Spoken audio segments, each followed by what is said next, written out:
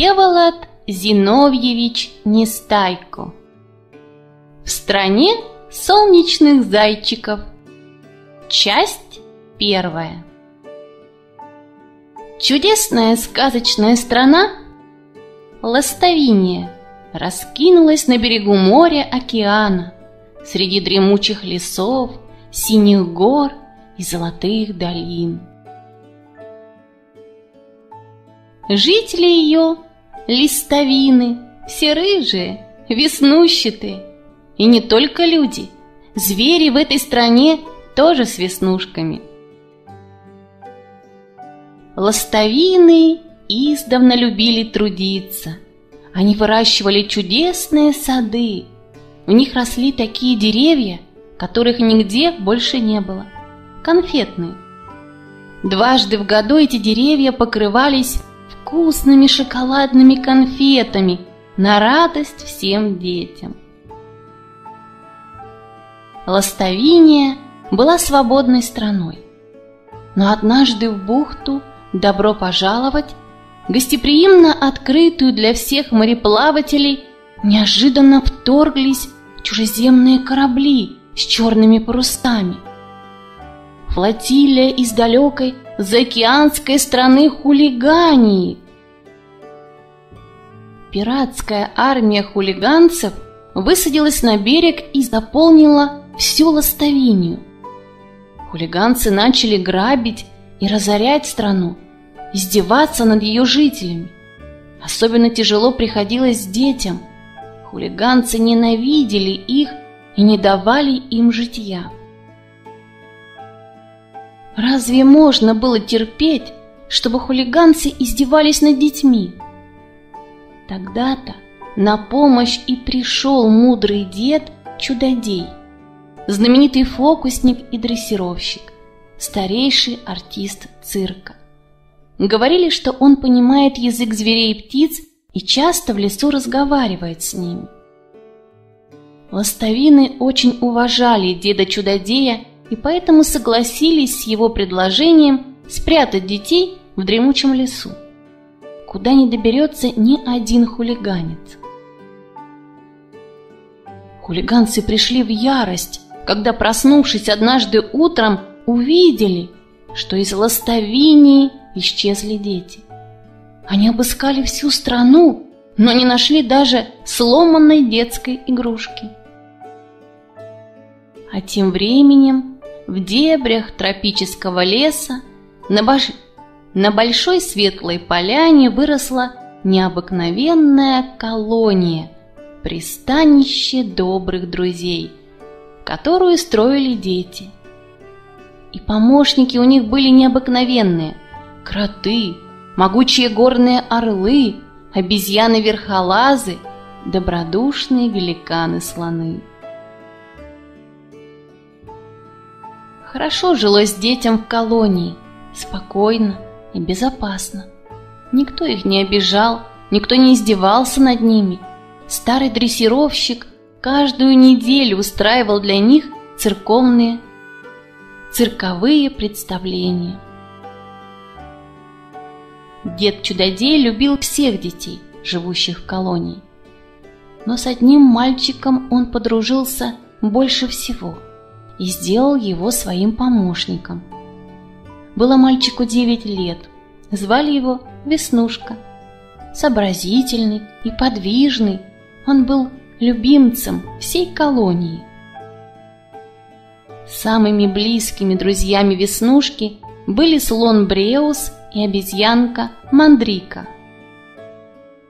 Вместе они ходили в увлекательные походы в лесные дебри, Какие необыкновенные травы, какие удивительные звери встречались им на пути. Как-то раз, когда друзья шли по лесу, раздался выстрел, потом другой, третий. Слон Бреус остановился, как вкопанный, тяжко вздохнул и повалился на бок. Веснушка упал в кусты, ударился и потерял сознание. Когда он открыл глаза, то увидел, что над ним стоят трое верзил с винтовками. Это были хулиганцы Биль Каналья, Джон Дыбуль и Том Паук.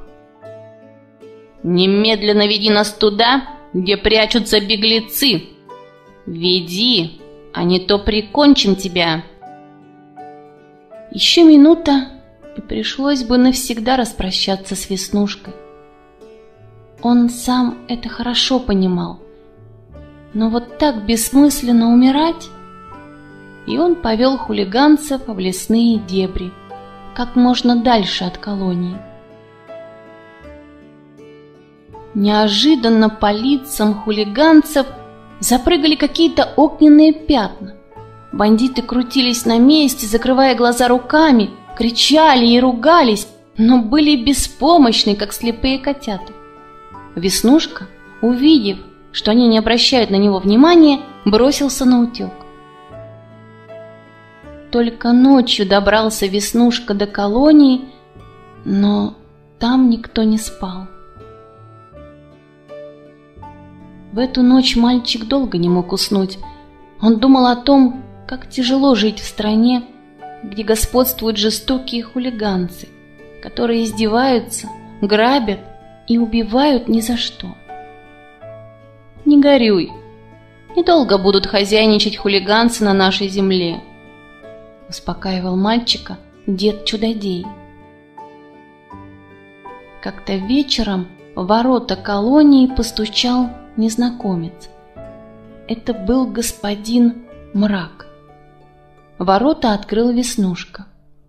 И ему показалось, что те несколько секунд, когда незнакомец смотрел на него, он спал и видел страшный сон, а потом проснулся. Три дня господин Мрак прожил в колонии, и три ночи, каждый вечер, как только темнело, вся колония сразу же засыпала и просыпалась утром с первыми лучами солнца. А господин Мрак каждый день гулял в саду, ни на минуту не снимая своего плаща. На третий день при открытую дверь тридцатой комнаты заглянул Веснушка. Господин Мрак стоял посреди комнаты в своем черном плаще и кривым ножом колол желтого зайца, вышитого на платочке. «Заходи, я жду тебя!» Послышался подземный голос господина мрака. «Не бойся, если пойдешь со мной, то в награду получишь много денег!» Веснушка хотел сказать «Нет, я ни за что не пойду с вами» и убежать, но пробормотал да-да, я согласен. Веснушка еще надеялся, что дед не отпустит его. Ах, пожалуйста, господин мрак, пожалуйста, берите мальчика хоть навсегда, он мне совсем не нужен. Пришлось Веснушке собираться в дорогу. Он завязал маленький узелок все свои вещи, стоптанные башмаки, курточку, перешитую из маминой старой кофты, пару белья и еще сломанный складной ножик, который достался от отца. И в тот же день они отправились в путь. Все жители колонии вышли провожать их. Всем было жалко расставаться с Веснушкой. Веснушка и господин Мрак шли по дороге которая тянулась через безлюдную, сожженную солнцем степь. «Ничего, ничего, потерпи, скоро стемнеет, и тогда сразу же станет легче», — говорил господин Мрак мальчику. Наконец солнце зашло, и землю окутал сумрак. Господин Мрак махнул плащом, и мальчику показалось, что от этого совсем погасло солнце и воцарилась темнота. В тот же момент господин Мрак поднял Веснушку на руки, и они с бешеной скоростью помчались вперед через кромешную темень. И вот Веснушка уже стоит на земле, а перед ним озеро. Господин Мрак подвел мальчика к самому озеру, схватил его за плечи и наклонил над водой. Лишь только лицо Веснушки отразилось в воде, случилось чудо.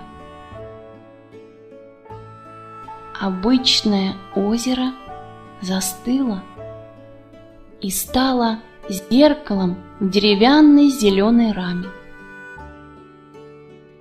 По ту сторону этого волшебного зеркала, сказал господин мрак, страна солнечных зайчиков.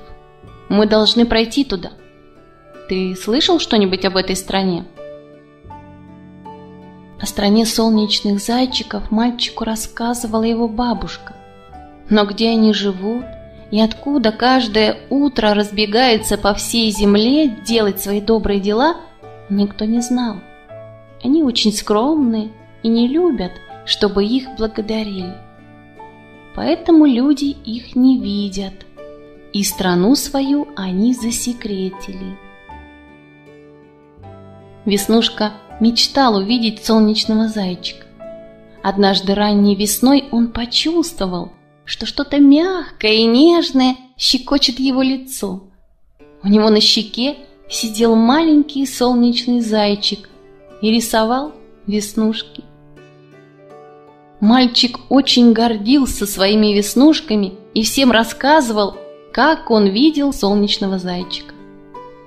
Но никогда он не думал, что ему посчастливится побывать в стране солнечных зайчиков.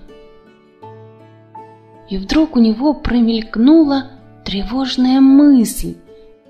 Почему это мрак хочет пробраться в страну солнечных зайчиков? Конец первой части.